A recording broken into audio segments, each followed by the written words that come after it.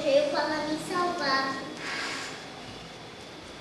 Eu fiz tantos pedaços, mas Jesus morreu para me salvar e salvar tudo que eu fiz por, por pecados.